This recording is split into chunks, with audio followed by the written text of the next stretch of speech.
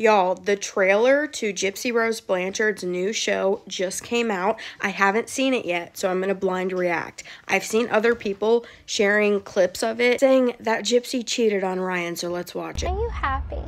I'm very happy. I just think that I would be happier somewhere else.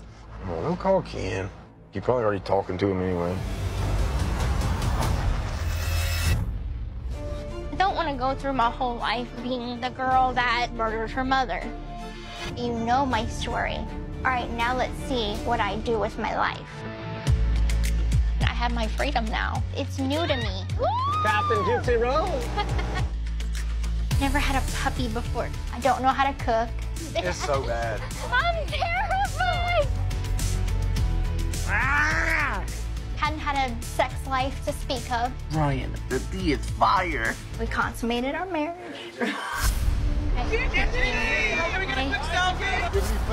Am I at risk for dangerous people? I've been getting death threats.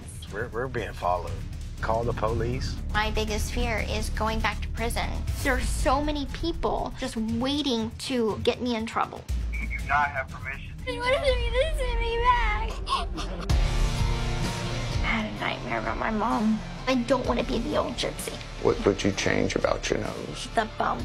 I am kind of rushing into things and wanting to do everything all at once. She's 30 years old. She's making 17, 18 year old person type decisions. We had sex, it wasn't protected. Are you pregnant?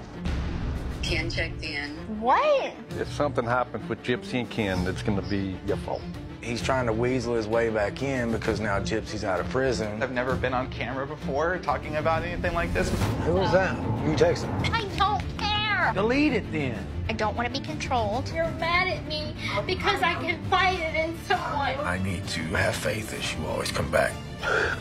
I'm gonna want a divorce. It's going to be your fault, Kristy. So, Lifetime shared this on their TikTok account. It has around 8 million views, I believe. So, let's see some of these comments. Go call Ken. Ryan, I can't with that line. Oh, this is messy. I'm sat. Go call Ken, Ryan the Sass. This is everything. Whoever edited this trailer did their thing. Why do I want to watch this so bad? Oh, baby, I'm sat for this. If I was Ryan, I would be scared for my life. This is the tea I have been waiting for. Go call Ken, boy oh boy. So proud of her for doing what she wanted. Never let anyone or anything hold you back from the life you want. She's still married. LMAO, how the divorce come out before the show. I wish we could watch it for free though. I will not be paying for it. Looks interesting though. Yes. So, if you want to watch this, you either have to have cable or a subscription service. So, like I've said previously, I'm going to live stream it on TikTok. So, if you want to join our watch party, go follow me over there. This person said, Wait, if Ken comes back into her life, it's whose fault? I hope not Ryan, because that was Bird's choice. So, they were he was talking about Kristy. He was referencing Kristy because we know that when Gypsy got out of prison, Ken first texted Kristy. So it's going to be very interesting to see how this whole situation unfolds. This person says, This is the only show I've seen touch on every single topic in the media. Well, yeah, because Gypsy's the one giving the information to the media, and this is her reality show. Like, what do you mean? Now, Gypsy also recently went back onto Good Morning America. They shared this clip on their TikTok account. This is the only clip that they have shared on there so far, so let's take a look at that. You're often portrayed either as the victim of Munchausen or the murderer. Right. And what do you want people to know about you? Quite honestly, I'm starting to feel like they want a perfect victim, and there is no such thing as a perfect victim. In their mind, the perfect victim would have died. And so now that I survived and the perpetrator of the abuse is the one that died, then I'm getting the hate. Okay, so let's talk about that. The interviewer said you are either portrayed as the victim or the schmurderer. Well, Gypsy is both.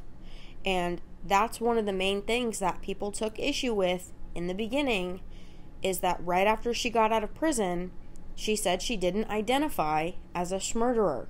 That right there was a huge turning point for a lot of people. It looks like she may have had some media training, at least for this interview, because, like I said in my previous videos when I first started talking about this, I did not think it was a good idea for her to do a huge media blitz campaign right out of the gate, right when she got released from prison, because she had no counseling. She had no real world experience. So she was out here saying all these things that then turned the public against her. Let's take a look at some of the comments because they're kind of 50 50. So this person says, Gypsy Rose, good for you, honey. You spoke your truth. Good for you. Stay positive. Quite smart and well spoken. Stay strong. Well spoken. Extremely well said. She is not a victim of MBP, but she is a schmurderer. Very well spoken.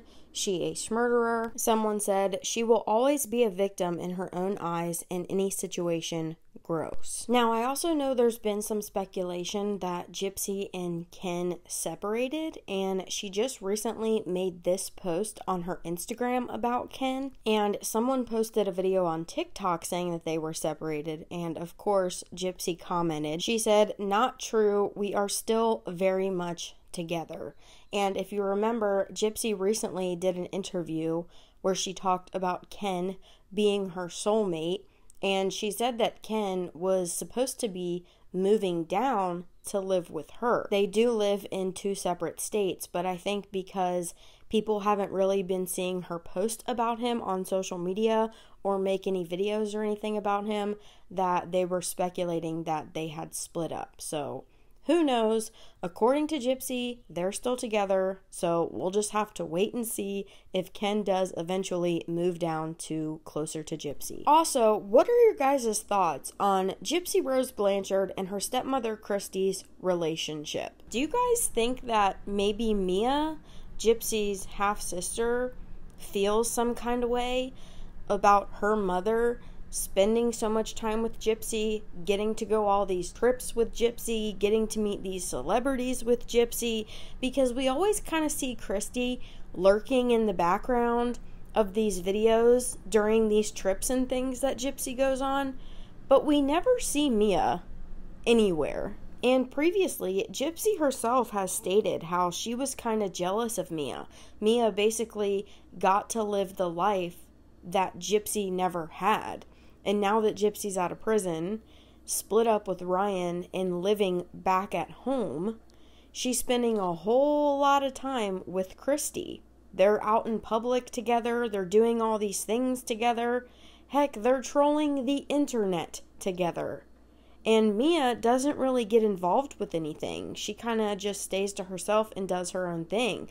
So I just kind of wonder how she feels about all of this. I mean, she could not care, but I'm just interested to see what your guys' thoughts are. Also, I know I've said it like a hundred times, but if you do not want to pay to watch the Lifetime show or you don't have cable, I am going to live stream it over on TikTok. We're going to do a little watch party over there. So make sure you follow me. And on the day that the show is going to air, I will make an event and it'll be pinned somewhere near my profile so that you can register for it. And then you'll get a notification right before I go live.